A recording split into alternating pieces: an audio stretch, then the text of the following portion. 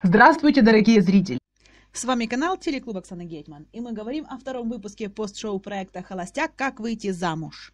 И тема выпуска звучит ужасно. Насколько приемлемым есть жизнь мужчины на две семьи? Да не насколько! Среди экспертов у нас, как всегда, Рифнея Жиль и Жиль Ветра, но с нами Оля Цибульская, которая изменила своему мужу еще до свадьбы. И в этом призналась. А вы мне, как всегда, напишите в комментариях, за какую холостячку вы болеете. Тема пост-шоу связана с тем, что Заливака сделал два дома для холостячек. И в реальной жизни это, конечно, ужасно. Но, как для женщин, которые пытаются раскрутить свой бренд, стать знаменитыми, то лучше, чем просто вылететь на первой встрече, что тебя даже не покажут. Лучше все-таки пожить на два дома.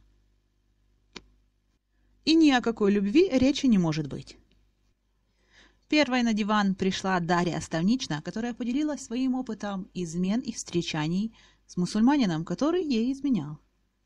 Я категорически против популяризации жизни на два дома, популяризации измен, тем более с мужской стороны.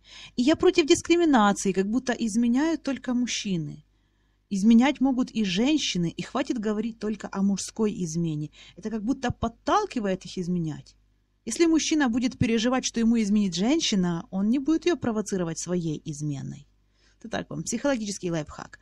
А вы мне напишите в комментариях, э, какая холостячка вам нравится больше всего. Жду от вас пальчики вверх и до новых встреч!